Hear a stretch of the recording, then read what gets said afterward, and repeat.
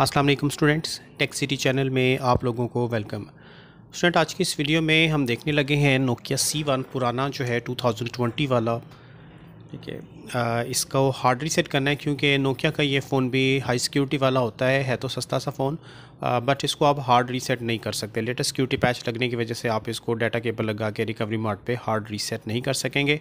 तो चलें जी, इसका देखते हैं कि फैक्ट्री रीसेट जो है अनलॉक टूल कर पाएगा या नहीं, और अगर ना हुआ तो फिर जो ई e की नई अपडेट आई है, उसमें भी ट्राई करते हैं।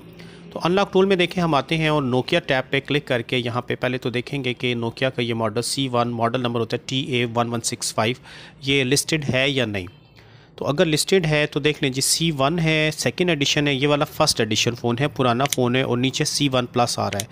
तो चलें, एक ट्राई करके देखते हैं सी वन प्लस क्योंकि चिपसेट सेम है, देखते हैं, अगर हो जाता है, ठीक है तो नहीं तो फिर आगे चलते हैं। तो चलें जी S P R D factory reset button पे क्लिक करते हैं। फ़ोन को हमने स्विच ऑफ़ कर लेना है और स्विच ऑफ़ करने के बाद डाटा केबल कनेक्ट करनी है। इस ऑपरेशन को परफॉर्म करने के लिए याद रखिएगा यूनिसॉक के यूएसबी ड्राइवर आपके सिस्टम में लाजमी इंस्टॉल होने चाहिए। तो चलिए जी डाटा केबल कनेक्ट करते हैं। तो ये देखें, यहाँ पर वेटिंग फॉर डिवाइस के बाद कॉम फाइव लिखा आ जाता है। और इसके बाद hand shaking with device phone जो है लोगों पे आ गया है एंड्रॉयड लोगों पे खड़ा है और देखते हैं कि आगे ऑपरेट होता है ये फ़ोन या नहीं। Hand shaking with device okay और writing waiting for device COM this और फेल कर दिया जिसने। नहीं होगा, चलें ऊपर वाले मॉडल से एक ट्राई करके देखते हैं।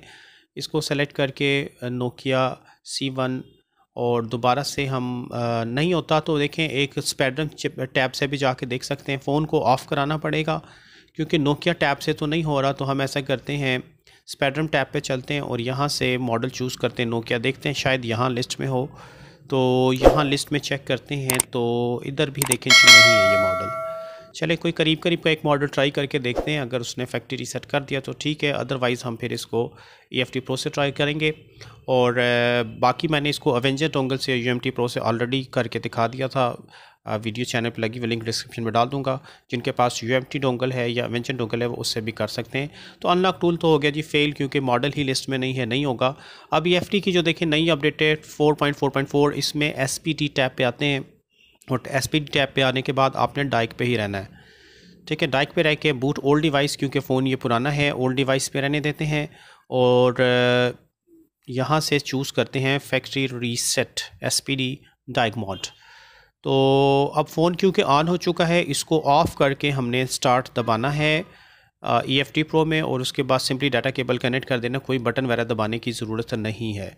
ठीक है, ये स्टार्ट बटन मैंने दबा दिया है फ़ोन को एक दफ़ा ऑफ़ करवा लेते हैं। और ऑफ़ करके उसके बाद डाटा केबल कनेक्ट करते हैं।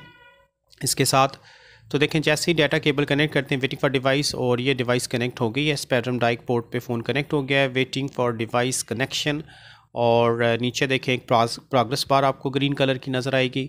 इसके बाद, ठीक है जी फ़ोन कनेक्ट तो हो गया open COM port okay searching user partition user partition ये डेटाबेस के अंदर सर्च कर रहा है। और यूज़र पार्टीशन अगर इसने फाइंड कर लिया दैन इसको ये फॉर्मेट भी कर दे। चलें जी, हो गया जी ओके और फॉर्मेट यूज़र डेटा ओके तो देख लें जी, काफ़ी सारे हमारे स्टूडेंट के पास यू एम टी प्रो या वेंजर नहीं है और इस तरह के फ़ोन आते हैं तो उनका फिर क्वेश्चन होता है कि क्या ई एफ़ टी से हो जाएगा नहीं? तो पहले तो नहीं होता था बट अब देखें जी, हो जाता है।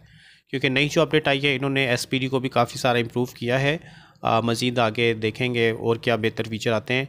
तो अब आप नोकिया सी वन जो ओल्ड एडिशन है, इसको अनलॉक टूल अगर आपके पास है तो उससे तो आप इसको फैक्ट्री रीसेट नहीं कर सकते। बट अगर आपके पास ई एफ़ टी प्रो है या एवेंचर टोंगल है या यू एम टी है तो उसके ज़रिए इसको फैक्ट्री रीसेट किया जा सकता है। तो फ़ोन हमारा जो है फैक्ट्री रीसेट हो चुका है स्क्रीन लॉक रिमूव हो गया। अब यकीनी बात है, इस पर एफ़ आर पी लॉक भी आना है तो एफ़ आर पी इसका जो है किसी भी डिवाइस में अभी तक सपोर्टेड नहीं है, आप अनलॉक नहीं कर सकते। लिहाजा आपको इसका एफ़ आर पी बाईपास करना पड़ेगा। तो बाईपास की वीडियो ऑलरेडी चैनल पे लगा दी थी लिंक डिस्क्रिप्शन में डाल दूँगा। तो उस वीडियो को फॉलो करके आप इसका गूगल अकाउंट बाईपास कर सकते हैं जी मेल अकाउंट लगाकर। अगर बाईपास यहाँ पे डिस्कस करें तो फिर वीडियो काफ़ी लंबी बन जाएगी, ठीक है? तो दो दोनों डिवाइसेस के ज़रिए करके दिखा देता एवेंजर से भी यूएमटी से भी।